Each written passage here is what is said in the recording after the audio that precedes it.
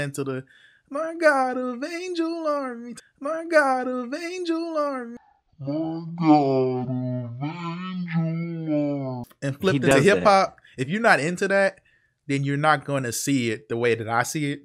But if you like that type of stuff, which in some respects I do, then yeah, you're gonna really vibe with it because it's a lot of that. It, it's there. just too like like okay, so then we go back to 2017, which today we rebel, which fire to me. But that's great album. It's like the he makes seasonal albums for me. They don't stand the test of time. Like they're mm, just straight yeah. hitters, and I don't.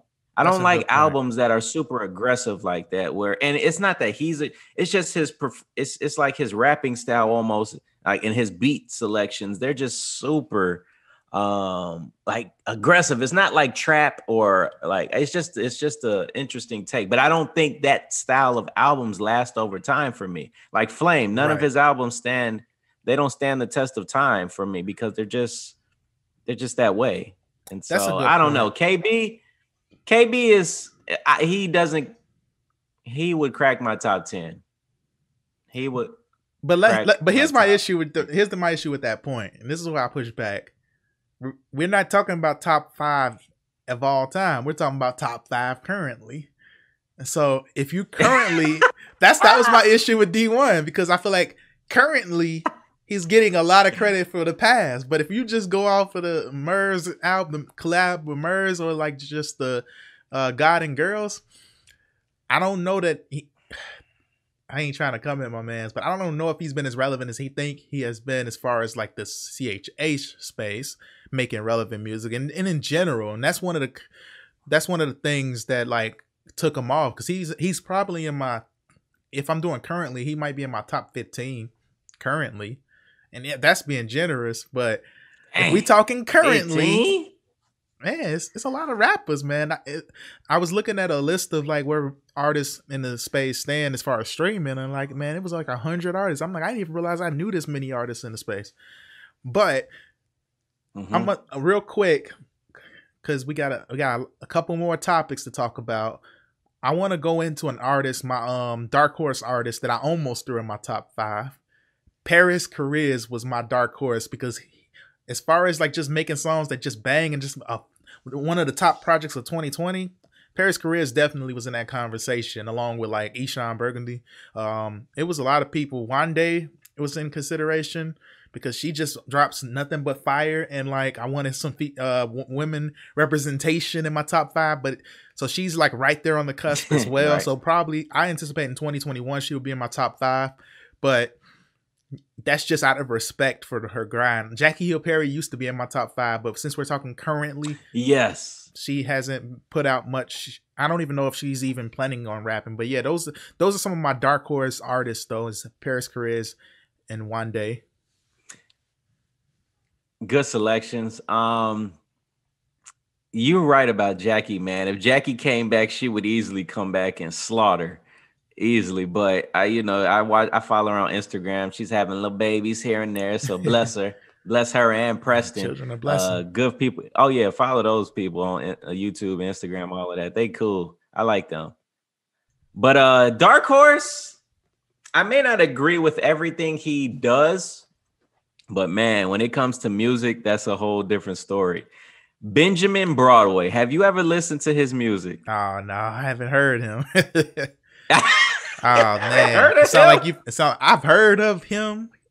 I don't know where it might be from you, to be honest, but yeah, that's a dark horse, dark horse, man. You gotta come. He's in the dark me, completely. Hey, shout out to uh shout out to Benjamin, man. But you gotta give me some. You, you I need something more he tangible. Makes, he calls himself the trap, uh, the trap gospel artist or something like. He be like trap the trap gospel. artist. You know, he's all about that. He's super hard, super tough, super street like.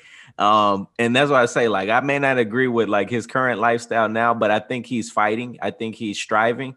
And um, just when it comes to music, though, man, that okay. he doesn't cuss in his stuff either. Like he is a Christian artist, but just you know, eh, he has some questionable lyrics. Like, and I listen to his music faithfully, so I could talk to this.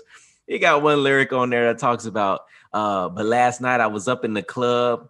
I, i'm with the killers and trappers. I'm with the gangsters and thugs. It's like, all right, yeah, I get it, man. You the Christian out your whole clique. I get that part, but it's like, uh, eventually God gonna surround you around some people that's you know living that life, life. So, but man, check out his stuff, dude. I don't know to. his numbers. I don't. I I think he.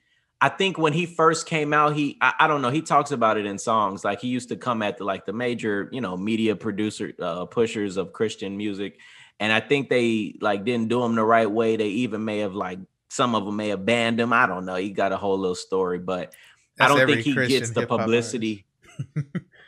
They Rapzilla slighted way, me, huh? man. I felt that way, and it wasn't even true. I'm like, man, Rapzilla ain't showing no love. I'm like, no, I'm just not that good yet. we all done went through that phase, man. Well, I, what you do, you like to compare. Yeah, exactly. You I compare yourself that. to who they're pushing out there.